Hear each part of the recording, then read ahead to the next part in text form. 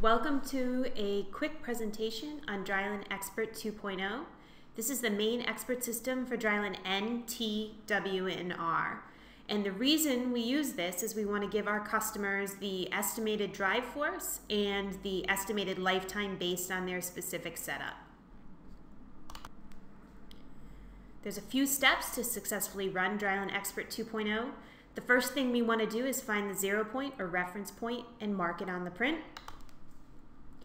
Uh, the reference point is center between two bearings on the fixed bearing side or the center of the single carriage on the fixed bearing side. Next, I mark down the x direction, followed by the z, which is towards the other rail or where you would logically add another rail, and the remaining dimension is y.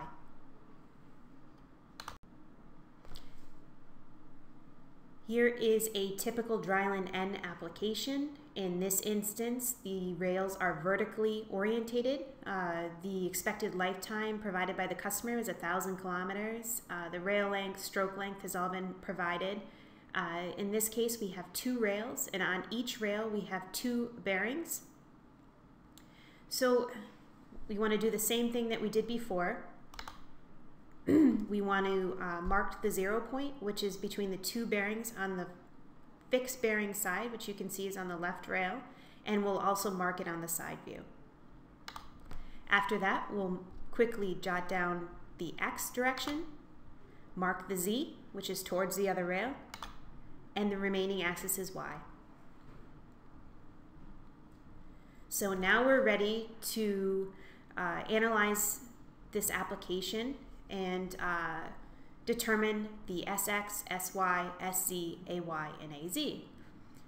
The expert system is like a blind man. We need to start from a fixed point, which is the blue dot, which is our zero point, and move in a specific direction, X, Y, and Z. So we'll start with the AY, and you'll see the AY on the side view. So you start at the zero point, move towards the drive point, and that dimension is 60 millimeters. After that, we'll determine the AZ, on the front view, start at the zero point and move towards the uh, drive point.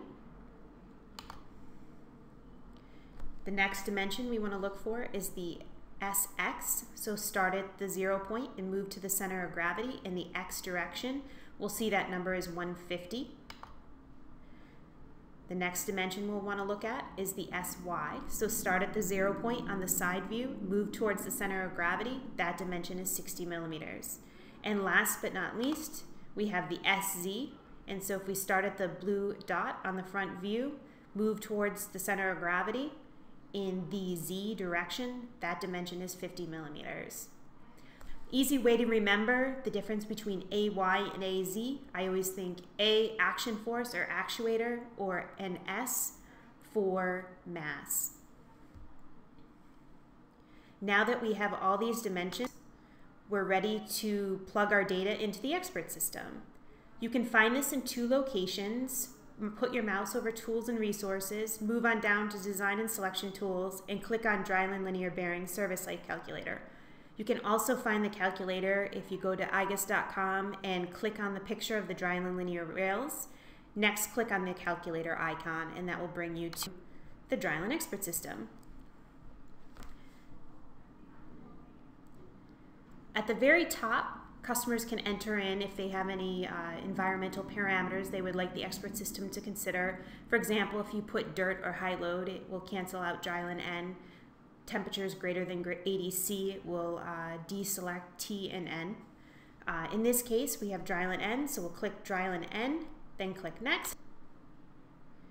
Then we'll take all of our dimensions that we had uh, previously uh, configured, or calculated, I should say, and on this page, we're going to want to enter the carriages per rail, which is 2, distance between rails, which is indicated on the print, which is 125 millimeters, and the distance between bearings, WX, uh, that is 150 millimeters.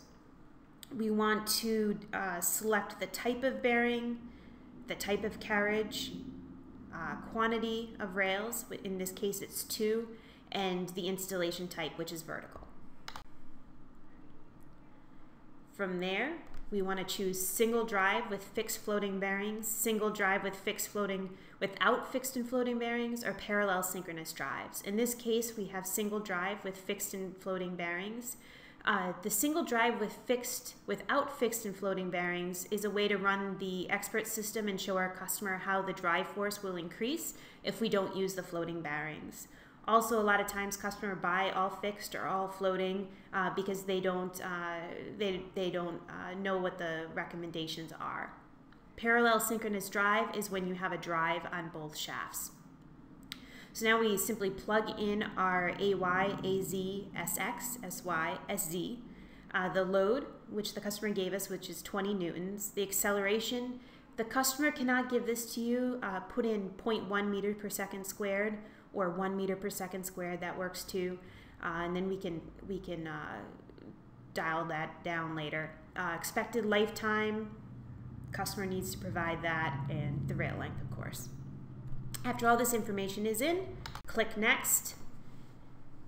And on this page, you'll see the whole reason that we're trying to do this is we want to give the customer the required, required minimum drive force, which in this case is 20 newtons and the uh, clearance at center of mass, which is 0.2 millimeters in new condition, end of operation 0.2.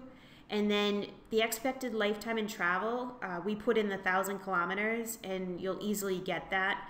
Uh, in order to see the max lifetime, you just keep bumping up that expected lifetime of travel number until you reach um, uh, where lifetime or where uh, where limit reached, it will say. Click Next.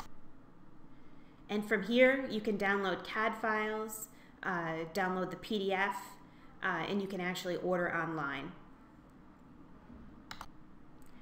Thank you very much for your attention